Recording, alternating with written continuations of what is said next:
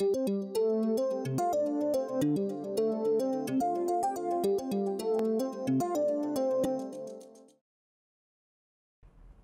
right, so we've seen Schrodinger's equation in one dimension, or as it's written in here, in three dimensions, which is an equation that the wave function needs to satisfy.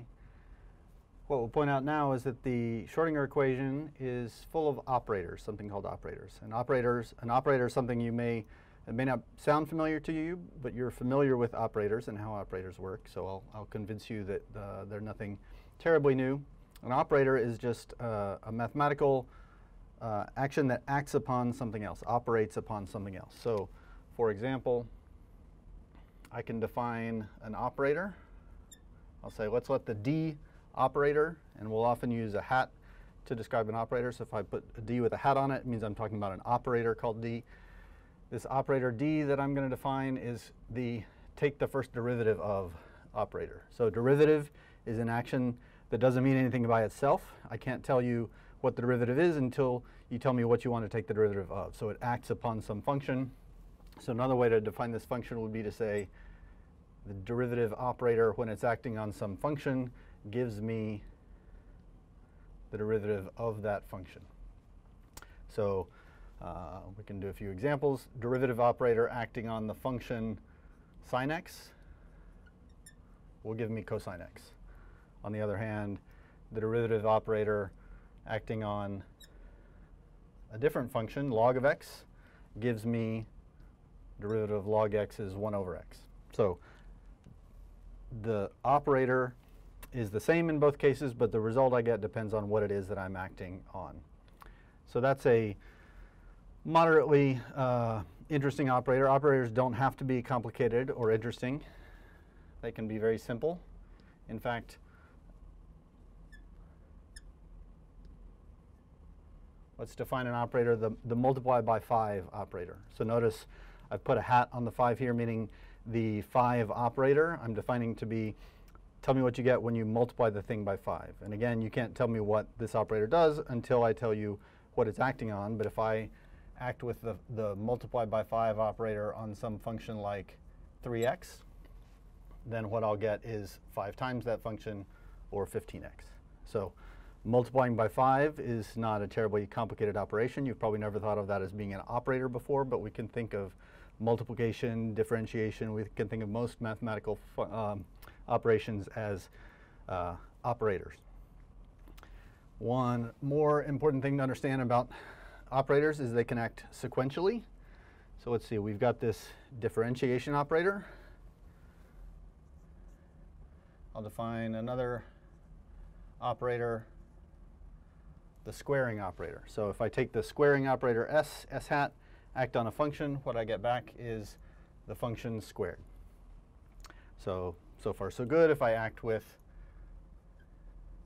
the squaring operator on some function, let's say 3x squared, then what I'll get is the square of 3x squared. I'll get 9 times x to the fourth.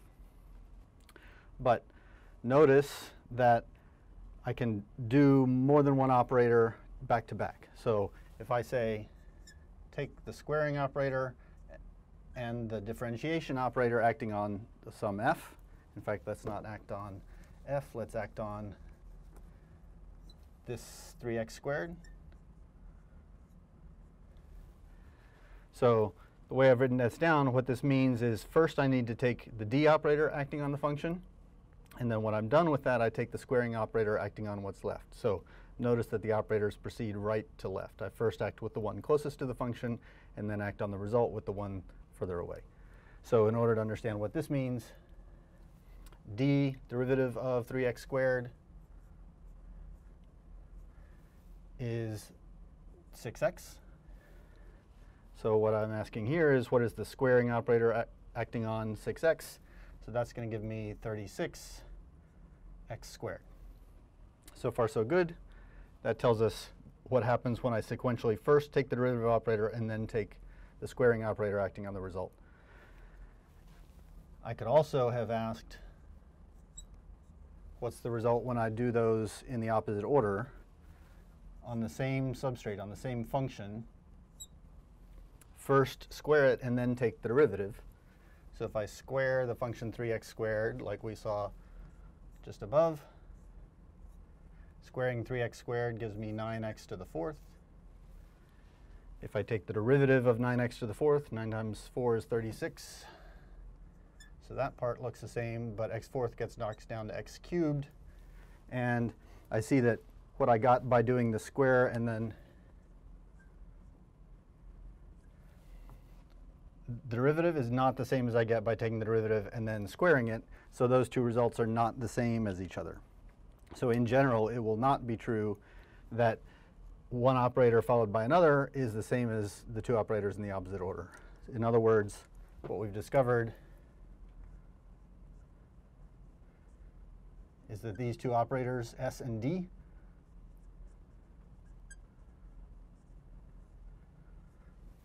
don't commute.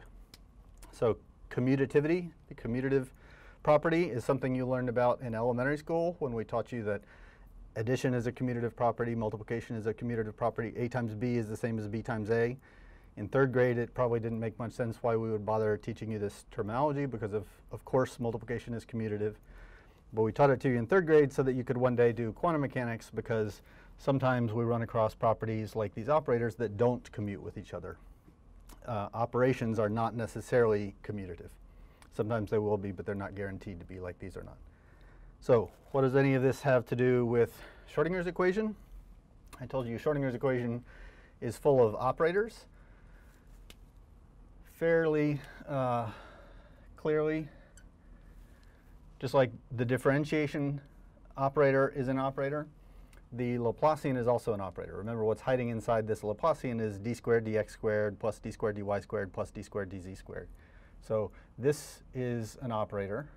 I could easily stick a hat on top of del squared, and that is an operator that's acting on psi. I don't know what I get until I tell uh, you what this function is psi that I'm taking derivatives of.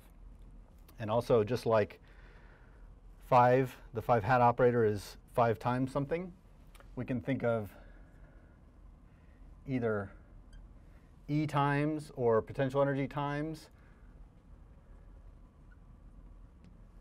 as being operators. They're, they're fairly simple operators. They're just multiply by operators. But what that tells us is the E times is the energy operator. We know potential energy is potential energy, and we talked briefly before about how this whole term, this collection of constants times the Laplacian all acting on a wave function, that gives us the kinetic energy. So that's the kinetic energy operator. So we've, uh, we can, just like we name the differentiation operator, call it D with a hat on it, we can give a name to the kinetic energy operator. We could call that, for example, T with a hat on it is a common name. You might also see some people call it E sub k for kinetic energy with a hat on it. The potential energy operator is often called V, capital V with a hat on it.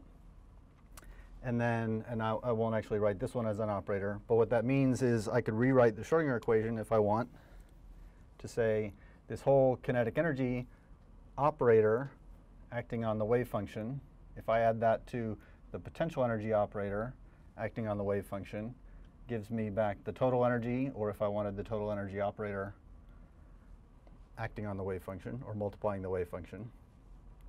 And in fact, this whole process, take these constants times the Laplacian acting on a wave function, add that to the potential energy multiplying the wave function, I can combine all those things into one big operator.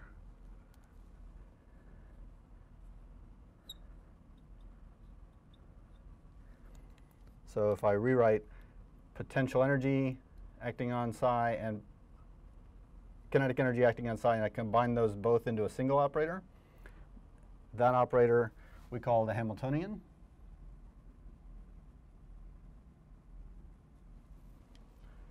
So that Hamiltonian operator, T plus V, acting on psi, tells us to do exactly this. The definition of the Hamiltonian operator is minus h squared over 8 pi squared m times the Laplacian of the wave function added to potential energy times the wave function. That's the definition of the Hamiltonian. But yet another way of writing down Schrodinger's equation is the Hamiltonian operator acting on a wave function gives us back the energy times the wave function. So what we've seen is we've got operators hiding inside Schrodinger's equation, and those give us a couple new ways, simpler ways to write down Schrodinger's equation.